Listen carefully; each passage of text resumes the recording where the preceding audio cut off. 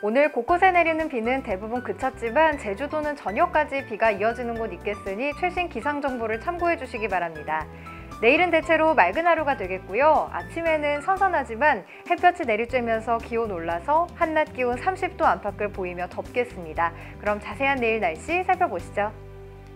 내일은 중국 중부지방에서 동쪽으로 이동하는 고기압의 영향을 차차 받아서 전국이 대체로 맑겠습니다.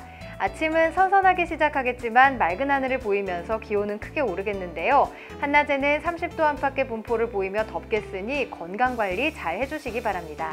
또한 자외선 지수는 전국이 매우 높은 수준을 보이겠으니 주말 나들이 하실 때 햇볕 조심하셔야겠습니다.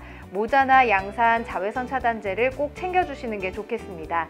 주말 동안에는 대체로 맑은 날씨를 보이겠고요. 월요일에는 강원도에, 화요일에는 중부지방을 중심으로 비 소식 있겠습니다.